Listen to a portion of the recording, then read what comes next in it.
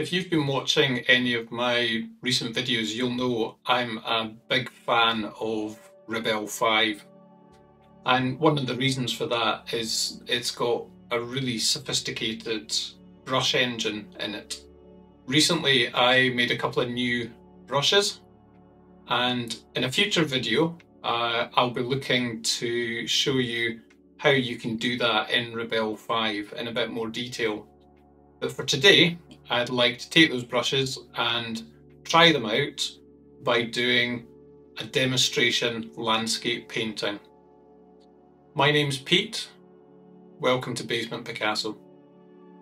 So today I'm going to try and do this entire painting using these two brushes that I've created.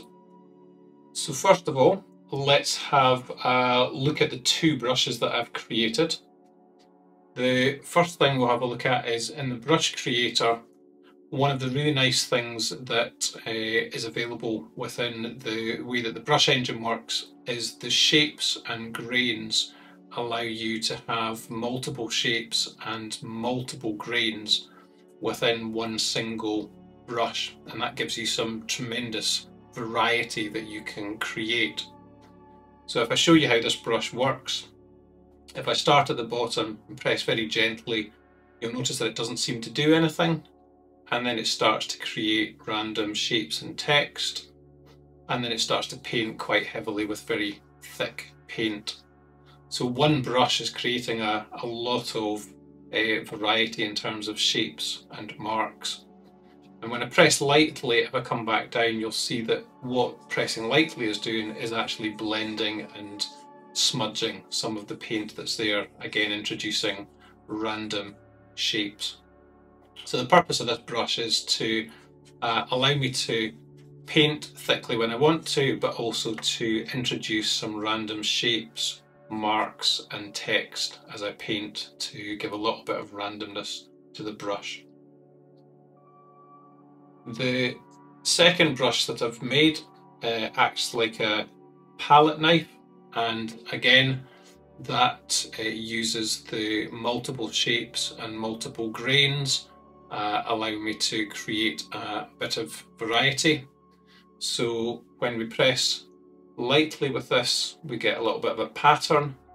As I press more firmly it introduces some text and then when I press very firmly I get a sort of palette knife type shape and again as I press lightly that can start to do a little bit of blending and mixing. And this one's also responsive to the angle of the, the brush so that I can uh, move it around and make marks at a different angle but because it's a quite a thin uh, brush it also allows me to draw out some very interesting lines that pick up some random marks within it as well.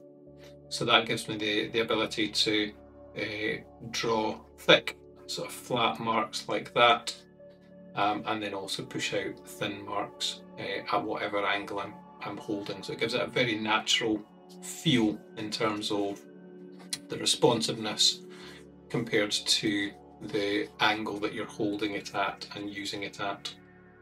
So the idea today is I'm going to just use these two brushes that I've made as much as possible and to see if I can do a whole demonstration painting just using those. So this is the reference photo that I'll be using today.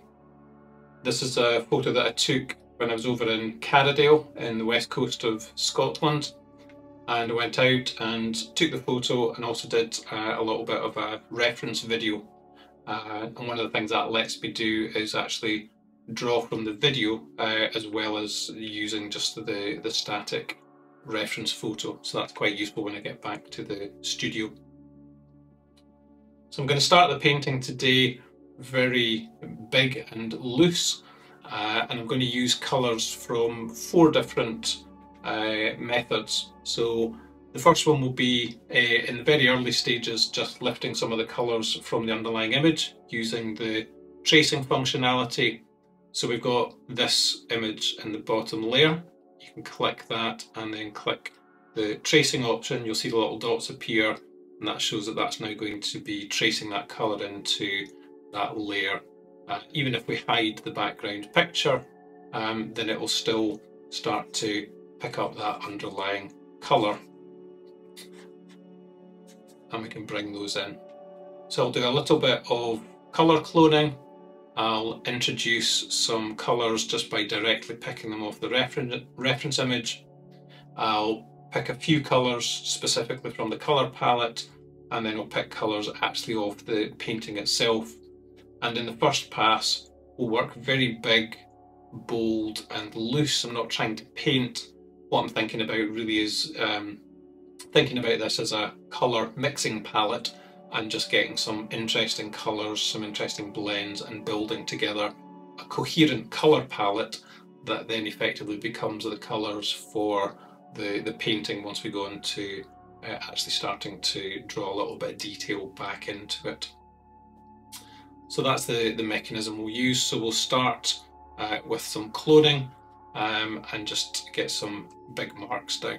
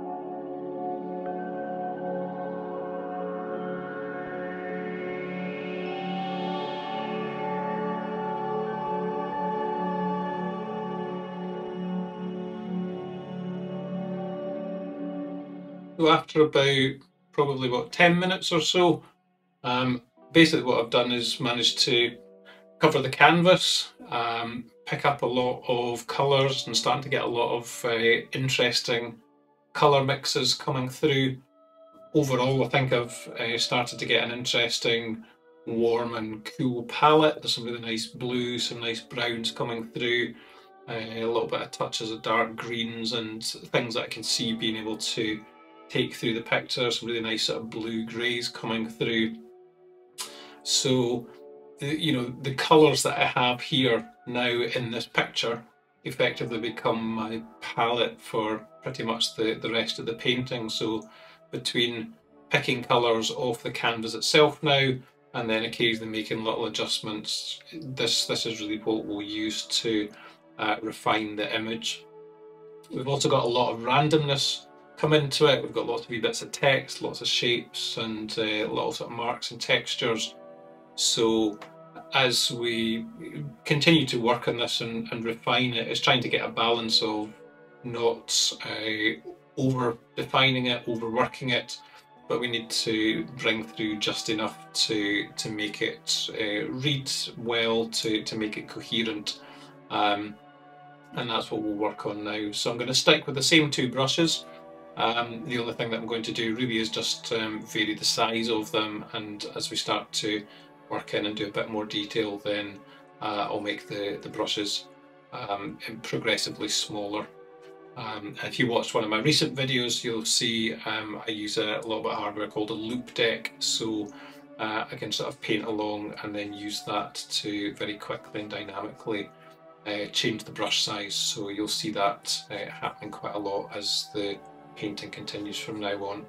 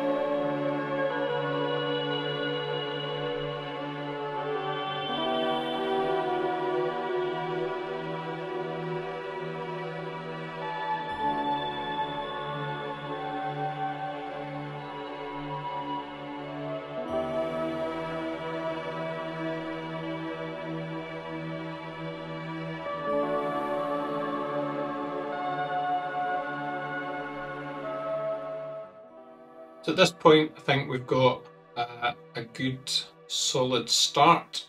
I've uh, got some interesting marks and just generally getting the, the, sort of structure and the composition, but we've managed to keep it reasonably loose at the moment. Um, found a lot of interesting colours and a lot of uh, subtle mixes starting to come through, so it's feeling like there's a nice coherent colour palette starting to build up. So the way that I usually work is I'll start um, sort of loose and rough um, and just let the, the painting sort of develop. Um, and then at some point, I think this is about the right sort of point, I'll then look to tighten up the drawing. Um, a lot of people will do that by having the drawing to begin with and then painting on top of it. Um, I find if you do that, you tend to tighten up very quickly and you, you can't be sort of quick and expressive. So I like to start the painting sort of big and loose and then uh, bring the drawing in back in on top.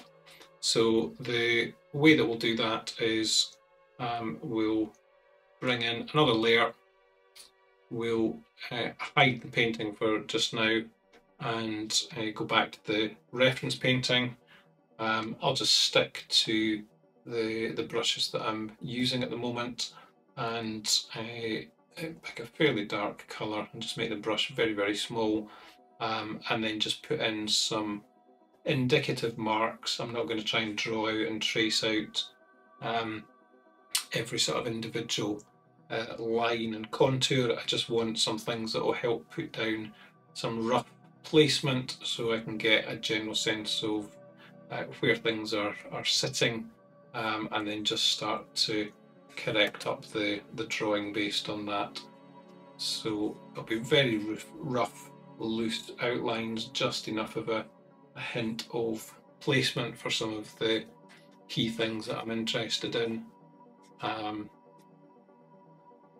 get the placement and that's probably all we need for the first pass. If you look at it, you'll see um, as a, a, sort of drawing. Um, it's incredibly loose still.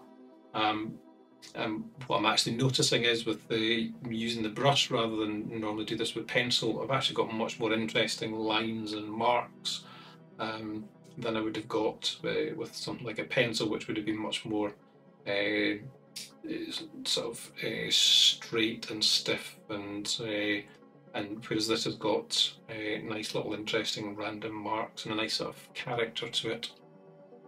So hopefully what we'll find is when we bring that back on top of the painting, um, it uh, sort of sits reasonably well. Um, now one of the uh, tricks I tend to use is um, with the, the drawing layer, um, I'll keep that layer active and um, lock the transparency and then what that allows me to do is to paint into that um, sketch that I've just done um, and that way I can uh, lighten or darken some of the lines. So if those lines aren't really sort of standing out uh, sufficiently well I can bring those through. Um, and I can also use uh, sort of colours from the painting itself. And uh, what I tend to find with that is um, that helps to very much unify the the image when you you bring some of these colours through into the, the line work. If your line work is just a, a black uh, drawing on top of it, it tends to really sort of stand out. Um, so this helps to to bring the lines through and uh, unify them together uh, fairly well. Um, and that's all I need to just give me a little bit of a guide in terms of the uh, the placement of objects and what we'll now do is uh, take the transparency off and we'll drop that layer down so it becomes part of the painting and then we just carry on painting and refining and we can now use that to, to help um, bring up some of the, the edges and some of the structure uh, around that. So up till now I've been working um, very much zoomed out. Um, we're, we're trying to keep it uh, a nice little small thumbnail image so that we can just focus on the whole picture and uh, and just make sure that it's generally working together. Um, and this is now the stage where we'll start to uh, zoom in and start to refine things, uh, move things around and um, work in just a little bit more detail. But you can start to see as, as we zoom in the the quality of the brushes and all these sort of random marks, the little bits of text that have come through, um, all help to give a lot of character and a lot of interest to the the picture even at this stage um, and that now gives us a really good uh, base to be able to, to work on and build out from here.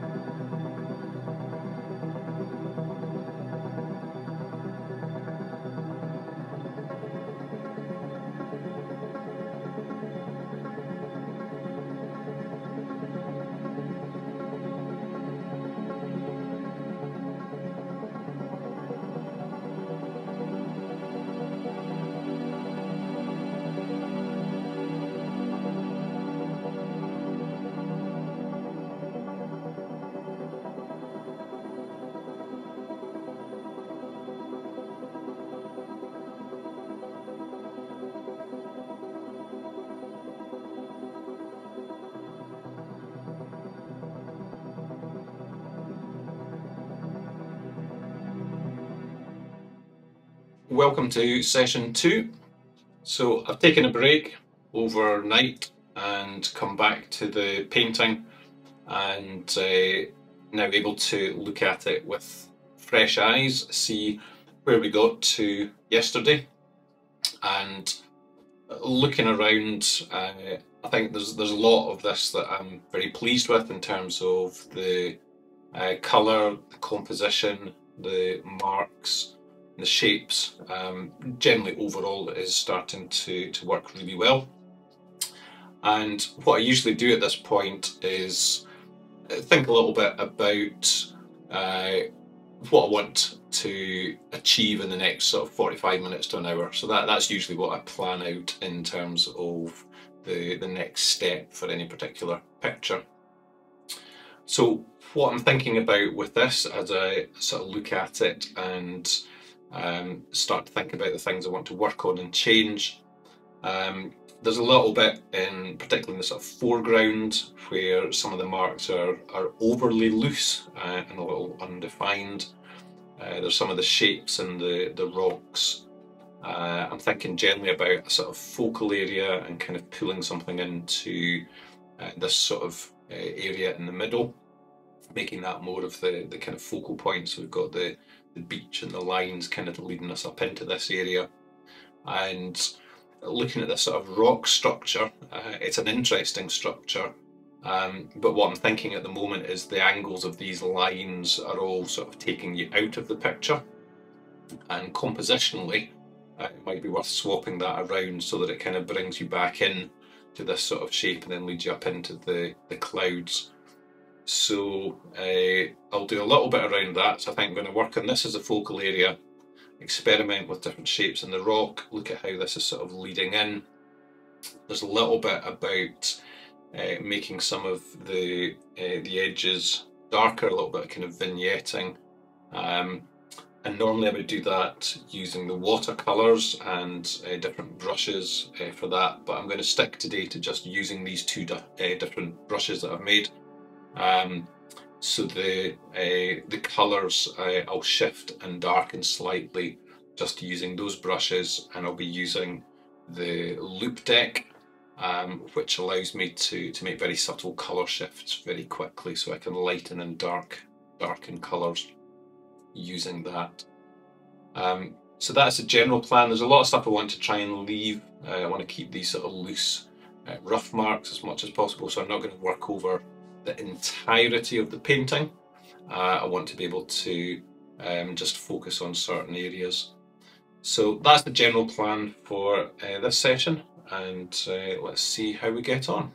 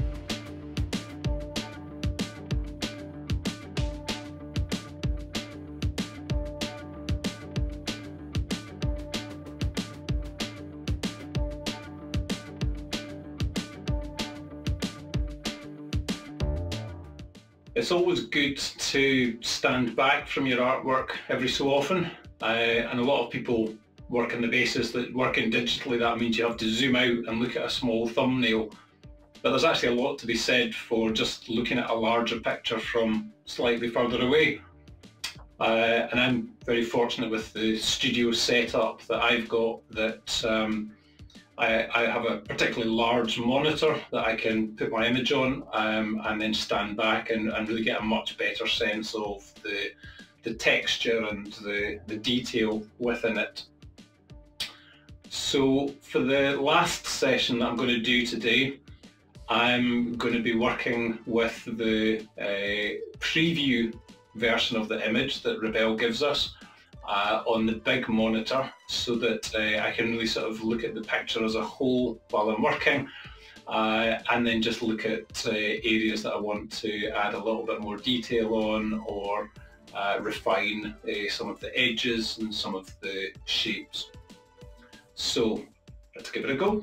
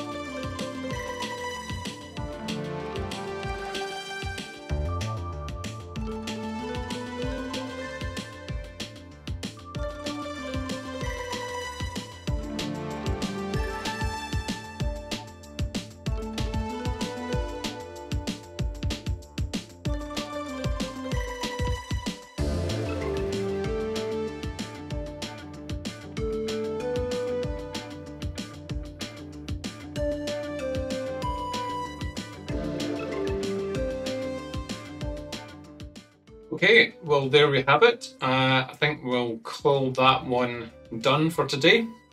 Uh, that's been really interesting using those new brushes, uh, learning a bit about um, how they behave, what kind of marks they make, um, and just a good exercise in terms of being able to try and do a whole painting focusing just on using those those two brushes. So that's that's been really interesting. Um, the only thing that's left to, to do now is I'm going to use one of uh, Rebelle 5's Pro features, which is to be able to do uh, what they call the nanopixel export, uh, and that's going to allow me to uh, export the image at a much higher resolution uh, which will then be able to support being printed off and we'll also be able to, to really sort of zoom in and see the, the details of the, the marks and the textures um, once we've done that. So now that's been exported uh, at a higher resolution, we can see uh, the final image and that allows us to zoom in and see the marks and the textures and the shapes, some of the little bits of text that have come through, um, and just the, the way that even though I was working at quite a low resolution for the overall image, uh, how that's been able to build up uh, a very detailed final picture from the, uh, the work that we've done.